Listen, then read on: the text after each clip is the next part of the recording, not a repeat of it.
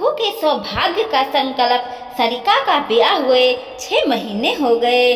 भरा पूरा परिवार था, जिसमें सास ससुर जेठ जेठानी और उनके बच्चे हैं। जेठानी सरकारी स्कूल में जॉब करती है, लेकिन सरिका विशुद्ध गृहिणी थी। घर का काम सब मिलकर आपसी सम मंजर से निपटा लेती थी। किसी को किसी की कोई बराबरी या ईश्वर, दोस्त जैसा कोई भाव नहीं था। जेठानी स्कूल जा चली जाती तो सरिका अपने सास, सासू माँ से पूछकर कभी कभी पड़ोस के हम उम्र कंचन के यहाँ चली जाती थी। धीरे धीरे सरिका के सीधेपन का फ़ायदा उठाते हुए कंचन ने उसके कान भरने शुरू कर दिया। एक दिन वो दोनों आँगन में बैठकर बातें कर रही थी। कंचन बोली सरकार तुम्हें नहीं लगता तुम्हारे घर में तुम्हारी जेठानी को ज़्यादा महत्व दिया जाता है? सुनकर सरिका साकेत में नहीं आई और बड़े विश्वास से बोली, मगर तुझे तो ऐसा तो कुछ नहीं लगता।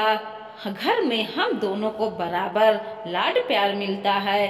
अरे बहन, वो नौकरी करती है, घर में पैसा कमा कर देती है। उसे फ़र्क तो पड़ता है कंचन ने सरिका को भरमाने की कोशिश की। मैं सब समझती हूँ। हमें ना ही समझाओ तो ही अच्छा है। सरका ने बेरुखी से कहा शायद तुम बुरा मान गए, पर तेरे सास हमेशा तेरी बुराई ही करती है।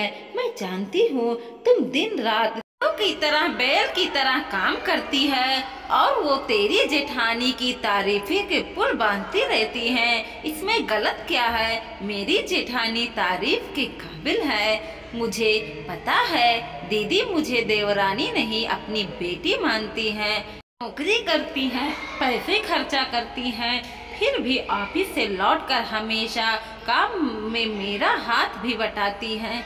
मेरे बिना कुछ कहे ही मेरी ज़रूरत की हर ला कर देती हैं, अपने हाथ बैठा कर खिलाती पिलाती हैं, अपने बच्चों के लिए जो भी लाती हैं, वो सब मेरे लिए भी लाती हैं।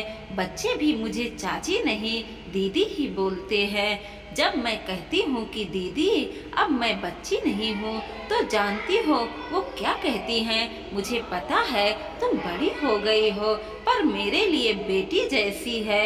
अभी तेरी उम्र ही क्या है?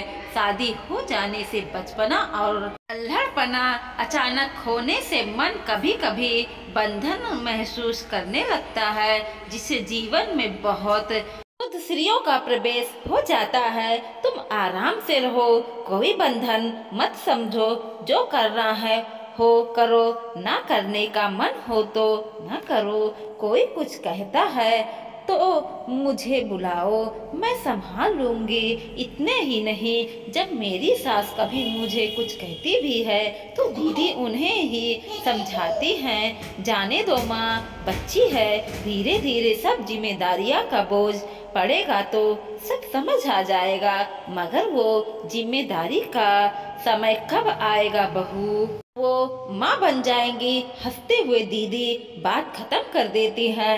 अब मेरी सास दीदी से कहती है, लगता है बहू की तू मेरी सास है और मैं तुम तेरी बहू और दोनों खूब हँसते हैं। तब ससुर जी के चेहरे पर जो संतोष भरी खुशी दिखती है, उसका एहसास तू कभी नहीं जा कर पाएगी। और सासू माँ हम दोनों को ढेर दुआएँ देती हैं और भगवान से प्रार्थना करती हैं कि हमारे बच्चे पर किसी की नज़र न लगे।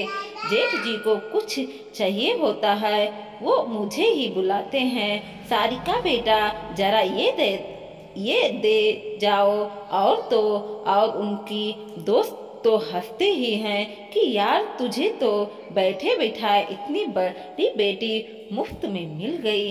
हाँ यार, सारिका के आने से मुझे भी ऐसा ही लगता है कि मैं दो नहीं, तीन बच्चे का बाप हूँ। कंचना को अपनी सारी योजनाएँ सनाई होती नज़र आने लगी। तभी सोफली अभी बनती नहीं। वो इसलिए कि तुमने उसे देवरानी नहीं, नौकरानी समझ रखा। मैं तेरा पति थोड़ा ज़्यादा कमाता है, इसलिए ना कभी उसे भी छोटी बहन दोस्त समझकर देख। देवरानी में छोटी भाई की जगह रख कर देख। सबके साथ तुझे भी अच्छा लगेगा। तेरी सास नहीं है तो तू भी उसकी बहू नहीं, बेटी बनकर उसका ध्यान रख, फिर देख उसका अकेलापन भी दूर हो जाएगा और वो खुशी भी रहेगी। बच्चों को उनके पास जाने के लिए छोड़ दे, तेरे बच्चे का भाग बदल जाएगा और उसमें संस्कार भी आ जाएँगे। तुम क्या समझती है कि बच्चों को इनका दादा से दूर रखकर तू अच्छा कर रही है। कभी नहीं, दादा दादी से ज़्यादा लाट पैर तो माँ बाप भी नहीं दे पाते। इस मालूम मैं सौभाग्यशाली हूँ कि अपने माँ बाप की अकेले संतान हूँ तो भाई बहन का लाट प्यार नहीं जान सकती थी। लेकिन दीदी के साथ मेरा बचपन बीता। दीदी के साथ तो मैं सबके से ज़्यादा खुश रहती थी और जानती हो मेरी माँ भी बहुत निश्चित रहती है। और अब ससुराल में जेठानी के रूप में बड़ी बहन का लाड प्यार दुलार पाकर समझ में आया कि बहन ऐसी होती है। जेठ जी के रूप में बड़ा भाई भी मिल गया। इससे बड़ा सौभाग्य और क्या होगा? सास ससुर में अपने माँ बाप का सकल दिखता है। मुझे एक घर से विदा होकर दूसरे घर आ गई हूँ। मैं बस यही फ़र्क लगता है। मुझे कल और आज में मेरे बाप, माँ बाप की खुशी उन्हें अपनी बेटी की चिंता जो नहीं करनी पड़ती। फिर सारिका ने कहा कि देख कंचना अच्छा सोच अच्छा कर, फिर सब अच्छा ही होगा। फिर से तुझे भी अपने सौभाग्य पर गर्व महसूस होगा। कंचना ने सारिका से कहा, तेरा बहुत बहुत धन्यवाद। तूने बड़ी से मेरी आँखें खोल दे। अब मैं किसी की बुराई नहीं करूँगी। अपनी देवरानी से छोटी बहन, एक दोस्त देवर को बड़ी बहन सा लाड प्यार दूँगी। ससुर जी को पिता की तरह समझकर उसकी सेवा करूँगी। बच्चों को उनसे दूर नहीं रखूँगी। बड़ी बहू नहीं, बड़ी बेटी बनकर दिखाऊँगी। बहुत अच्छा यदि तुमने ऐसा कर सकती ज़्यादा। खुश नसीब मुझसे होकर सैफली अपने घर की ओर जाने के लिए खड़ी हो गई। कंचना सोफली को दरवाजे तक छोड़ने आई। आज वह अपने को बहुत हल्का महसूस कर रही थी। उसकी आँखें सारिका के विचारों से भीगी गई। अब वो मन ही मन खुद को बदलने का संकल्प कर रही थी। दोस्तों, वीडियो पसंद आया हो तो लाइक कीजिएगा शेयर कीजिएगा और सब्सक्राइब भी कीजिएगा और देखते रहिए Komal motivational two point zero